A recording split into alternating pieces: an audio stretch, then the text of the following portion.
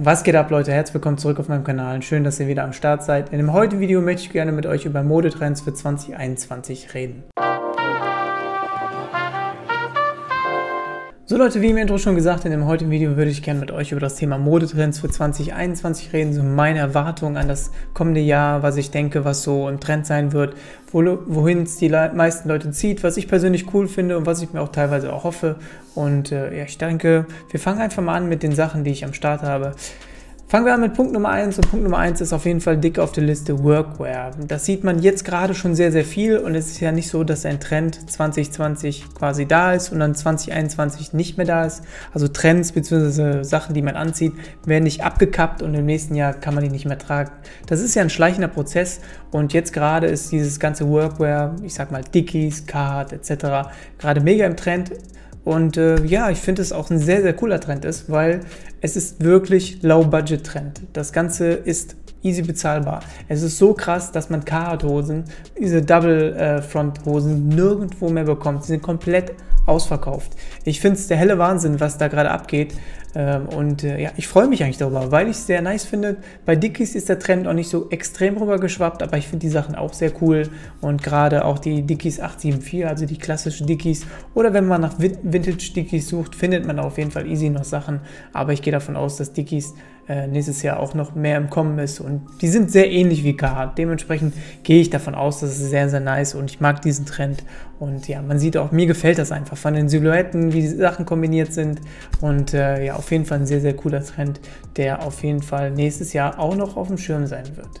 Machen wir weiter mit dem nächsten Punkt. Und der nächste Punkt knüpft quasi da an äh, bei Workwear und das sind Vintage-Sachen. Also das sieht man auch sehr, sehr häufig, diese ganze Card Geschichte ist natürlich auch verknüpft mit Vintage-Sachen, egal ob es jetzt auf Vintage getrimmte Sachen sind, die quasi einfach nur äh, ja, veraltert werden oder äh, wirklich Vintage-Sachen, die von alten ähm, Shops verkauft werden und dann nochmal ein zweites Leben quasi eingehaucht wird, sodass derjenige das im Kleiderschrank wirklich gerade aktuell im Trend sehr, sehr cool äh, tragen kann. Finde ich ein sehr, sehr cooler Trend und das erwarte ich auch für 2021, dass es noch auf jeden Fall mega modern sein wird, weil das ist, sieht sehr cool aus, ist low budget. Viele Leute können auch ein bisschen ihre, ja, so ein bisschen ihren ähm, eigenen Geschmack ausleben. Man muss nicht nur immer alles über einen Kamm scheren. Ich finde das sehr, sehr nice und ich finde das auf jeden Fall ein cooler Trend, der auch im kommenden Jahr auf jeden Fall für mich persönlich äh, wirklich noch am Start sein kann. Ich mag auch dieses ganze Vintage Levi's Thema, Vintage Rock T-Shirts, Vintage äh, andere Sachen, Jacken, da gehen wir gleich noch drauf ein. Äh, und das ist auf jeden Fall für mich ein Trend, der kommendes Jahr auch auf jeden Fall dick auf dem Schirm sein wird. Gerade dieses 90er-Thema, dieses ganze Oversizige ist ja im Prinzip äh, ja, wieder aufgelebt und dementsprechend ja, ja, erwarte ich, dass das nächstes Jahr auf jeden Fall auch noch ein dicker Trend sein wird. Kommen wir zum dritten Punkt. Und der dritte Punkt ist auf jeden Fall minimalistische Outfits. Was meine ich jetzt darunter? Ich meine da prinzipiell darunter Outfits, die so sehr ja, sehr ineinander laufen, sehr eintönig sind, sehr äh, einfarbig, ob es jetzt beige Looks sind oder Pastell-Looks oder ich sag mal Brauntöne zusammen kombiniert. Das ist auf jeden Fall ein Trend, der gerade die letzten, ich sag mal, anderthalb Jahre immer wieder zu sehen war und wo ich die Sachen finde, sind sehr nice kombiniert und das sieht immer sehr harmonisch aus. Ist auch noch für mich ein Trend, der auch kommenden Jahr von vielen Leuten getragen wird und auf jeden Fall ja, modern sein wird. So Leute, unter Punkt 4 habe ich auf jeden Fall Custom-Sachen und das sieht man gerade aktuell immer, immer mehr. Äh, ich sag mal, Bezug nehmt auf diese Card-Geschichte, ist das natürlich, ihr habt ja von mir auch, oder die Levis-Sachen, habt ihr auch Videos gesehen. Äh, wer die nicht, noch nicht gesehen hat, kann die gerne abchecken, aber ich habe ja jede Menge DIYs gemacht und äh, sind auch noch mehr in Planung. Und das sind halt eben Dinge, finde ich persönlich, wo man sich selber so ein bisschen ausleben kann, wie ich da in meinen Videos auch gerne sage, so ein bisschen seinen kleinen eigenen Stempel aufsetzen kann. Und das finde ich auf jeden Fall ist ein cooler Trend und ja, dass man das heutzutage tragen kann. Ich glaube, das hätte man vor ein, zwei Jahren oder zwei, drei Jahren auf jeden Fall nicht so tragen können. Da ging es nur um dickes Branding, dicke Logos hier, dies, das, jenes und dass dieses ganze Do-it-yourself bzw. Custom-Sachen in einem gewissen Stil. Ich meine, da gibt es auch Leute, die vielleicht nicht meinen Geschmack treffen und das, was ich mache, äh, trifft auch nicht deren Geschmack. Aber ich finde diese ganzen Custom-Sachen extrem nice und ich denke, da kann man sich easy mit ausleben und ja, ich freue mich auch auf diesen Trend fürs kommende Jahr. Der nächste Punkt, den ich auf dem Zettel habe, sind auf jeden Fall Flared-Hosen, also Schlaghosen. Das hört sich jetzt ziemlich krass an, aber das ist im Street-Style-Szene auf jeden Fall jetzt schon, ich sag mal, von den Cool Kids gerade aktuell so sehr getragen äh, und das, dieses ganze 70er-Jahre-Thema flared, bisschen cropped die Sachen, ein bisschen, äh, ja, keine Ahnung, die Schuhe sind ein bisschen abgedeckt das ist so gerade mega, mega im Hype und ich gehe davon aus, dass dieser Trend auch auf jeden Fall noch ins nächste Jahr überschwappt. Und ähm, ja, das sieht auf jeden Fall nice aus. Das kann auf jeden Fall nicht jeder tragen. Ich persönlich tue mich da auch noch schwer, muss ich sagen. Gerade meine äh, ja, Hosen, die ich am Start habe, sind so ganz leichten Bootcut haben die, aber jetzt nicht so extrem. Ich finde, das sieht sehr nice aus und wenn man eine gewisse Silhouette hat und eine gewisse Optik hat, sieht das auf jeden Fall, ja, finde ich persönlich super cool aus. Aber das ist so ein Thema, das kann, wie gesagt, nicht jeder tragen. Trotzdem finde ich, ist es ein sehr, sehr nicer Trend. Ich habe mir jetzt auch mal so eine Flared-Hose bestellt. Ich weiß nicht genau, wie die ist. Die hat jetzt 60 Dollar gekostet. Äh, die müsste jetzt die nächsten Tage auch ankommen und dann werden wir auf das Ganze auch nochmal in dem Video eingehen. Aber ja, dieses ganze Flair-Thema finde ich ist auf jeden Fall äh, mega interessant und äh, ja, ich denke, das wird auf jeden Fall auch noch ein cooler Trend sein, der nächstes Jahr äh, ja, gern gesehen ist, auch von meiner Stelle aus. Und da gucke ich auch darauf hin, dass äh, das Ganze auf jeden Fall ja, nice wird. So, im nächsten Punkt würde ich gerne mit euch über das Thema Farben reden. Also nächstes Jahr erwarte ich auf jeden Fall, dass Grau sehr angesagt sein wird. Braun, Braun ist ja gerade aktuell schon mega im Trend.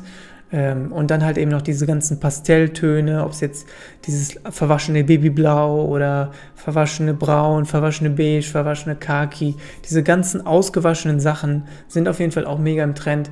Ähm, ich gehe nicht davon aus, dass nächste, nächstes Jahr Neon up-to-date sein wird. Dieses Jahr äh, war ja die Farbe Blau so ein bisschen im Trend, wohingegen ich mich da eigentlich gar nicht gesehen habe. Ich habe das aber bei vielen anderen gesehen und da sah das auch nice aus, aber das muss immer so ein bisschen zu einem passen. Ich finde, man muss nicht auf jeden Trend aufspringen, aber ich denke nächstes Jahr auch dieses ganze Thema rund um Erdtöne, Brauntöne, äh, ja, Pastellfarben etc. wird auf jeden Fall auch mega äh, ja, modern sein und ja, alles andere werden wir halt sehen. Ich, Schwarz und Weiß geht halt immer und ja, keine Ahnung, man muss halt gucken, wie sich das Ganze entwickelt, aber ich glaube, diese Grau- und Braun-Varianten wird auf jeden Fall mega im Trend sein und äh, ja, da freue ich mich auf jeden Fall, weil auch vieles aus meinem Kleiderschrank einfach diese Farben äh, dementsprechend entspricht und ja, gerade auch Kaki. Kaki muss ich ein bisschen mehr ausprobieren. Ich finde diese Farbe extrem nice. Ähm, ich sehe das auch immer, wenn die Leute ob es jetzt Safari-Jackets sind oder sonst was, mega cool kombinieren. Und ja, da muss man einfach sich ein bisschen ausprobieren, ein bisschen testen, aber auch dem Trend sehe ich nächstes Jahr positiv entgegen und ja, das wird auf jeden Fall auch ein Trend sein, der nächstes Jahr immer noch modern sein wird. So Leute, kommen wir zum nächsten Punkt. Der nächste Punkt ist natürlich Thema College-Jacken und ich ich weiß nicht, in wie vielen Videos ich euch schon das Thema College-Jacken oder wie lange ich das schon gesagt habe, College-Jacke, gerade aktuell, ob es jetzt irgendwelche speziellen Varianten sind oder dieses ganze Vintage-Thema, diese ganzen Vintage-College-Jacken, die auch gerade wieder mega im Trend sind. Ähm, ja, das Thema College-Jacke wird auf jeden Fall auch nächstes Jahr mega modern sein, mega cool aussehen. Und ich finde, das ist auch so ein kleines Evergreen.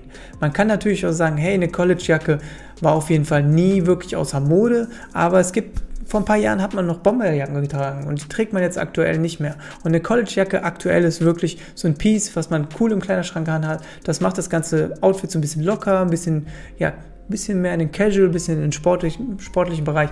Und ich finde die Dinge einfach mega nice. Und ja, ich werde auf jeden Fall auch noch ein bisschen was aufstocken. Und ich muss sagen, ich habe hier eine College-Jacke liegen, die wir demnächst auch mal customizen werden. Also ich habe ähm, so Patches besorgt, aber ich bin noch nicht ganz zufrieden. Ich suche da noch, äh, beziehungsweise werde da jetzt auch mal einen größeren Patch anfertigen lassen. Und dann werden wir das Ganze einfach mal angehen. Und äh, ja, Thema College-Jacke ist bei mir auch noch dick, dick auf der, auf der Liste oben drauf. Das werden wir auch noch in den nächsten Tagen auf jeden Fall abarbeiten. Und ja, da freue ich mich auch hingegen, dass nächstes Jahr College-Jacken auf jeden Fall mega modern und angesagt sein werden. So Leute, kommen wir zur nächsten Sache und das nächste Thema ist auf jeden Fall die Marke New Balance. Ähm, die haben dieses Jahr ein paar coole Kollabos gehabt und ich finde auch gerade, äh, und ich habe den Schuh auch selber, diese Kollabo mit Armé Leon Doré, finde ich, ist eine sehr, sehr coole Kollabo gewesen, dieser äh, New Balance 550. Und gerade zu diesem Schuh, ähm, ja, erhoffe ich mir, ich mag diese Schuh Schuhsilhouette extrem gerne.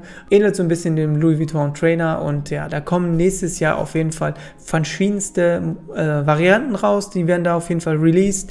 Und äh, ich denke mal, das ganze Thema New Balance ist bei vielen ähm, Anfang des Jahres auf jeden Fall noch nicht so dick auf dem Schirm gewesen wie jetzt aktuell. Und das ist eine sehr, sehr coole Marke, die auch meiner Meinung nach nächstes Jahr mega im Trend sein wird. Und die sind auf jeden Fall am richtigen Weg. Finde ich ganz nice. Finde ich, das ist eine coole Alternative zu Nike, Adidas und Co.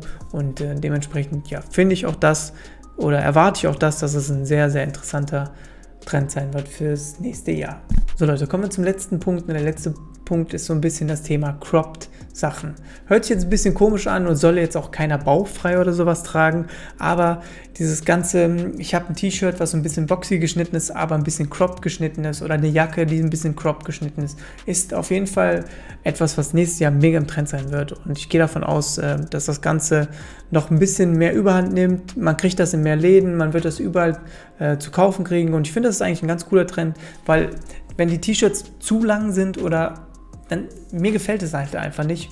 Und ich finde persönlich ist mega interessant. Auch das muss man tragen können, auch das muss man kombinieren können. Aber ich denke, das Thema Crop wird auf jeden Fall nächstes Jahr ja auch ein super Trend sein. Wie gesagt, diese ganzen Themen, diese ganzen Trends sind so ein schleichender Prozess. Man kann das nicht runterbrechen, dass das jetzt modern ist und morgen nicht mehr. Ich finde, ähm, solche Themen sehr interessant und wie gesagt, auch nicht jeder kann alles tragen, aber äh, diese ganzen Modetrends, die ich erwarte fürs nächste Jahr, sind auf jeden Fall etwas, wo man sich selber so ein bisschen äh, ja, drin sehen kann, sich so ein bisschen rauspicken kann, was man davon mag, was man da nicht mag, auch testen etc. Und ich denke, jedem ja, jedem Punkt, den ich abgearbeitet habe, bzw. euch erklärt habe, wird auf jeden Fall nächstes Jahr so ein bisschen für jedermann äh, zugänglich sein. Natürlich, wenn diese ganzen Standardsachen, ob es jetzt Classy Menswear oder äh, diese ganze Casual-Sachen, die ganz normalen Sachen, die jetzt nicht so mega trendy, sondern einfach schöne, schlichte, einfache Basics-Sachen äh, sind,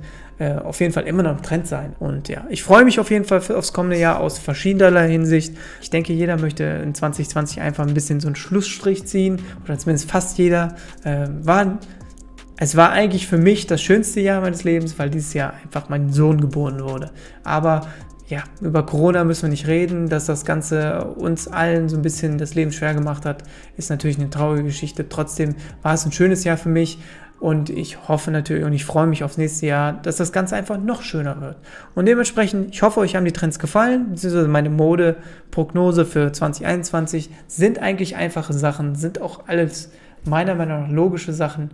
Und ja, das war es auf jeden Fall mit dem Video. So Leute, auch heute habe ich wieder eine Kleinigkeit im Weihnachtskalender für euch.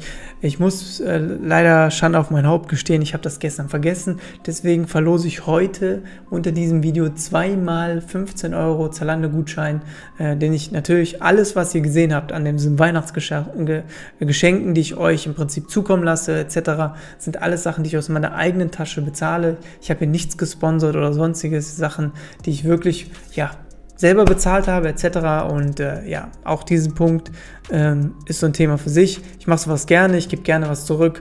Äh, ich kriege von euch po durchweg positives Feedback und ich hoffe, wir haben auf jeden Fall nächstes Jahr ein schönes Jahr zusammen und ja, die Videos gehen natürlich noch weiter. Ich denke, das war's mit dem Video. Ich verquatsch mich gerade ein wenig, deswegen Leute, Abo, liken und dann sehen wir uns morgen wieder. Peace. Ciao.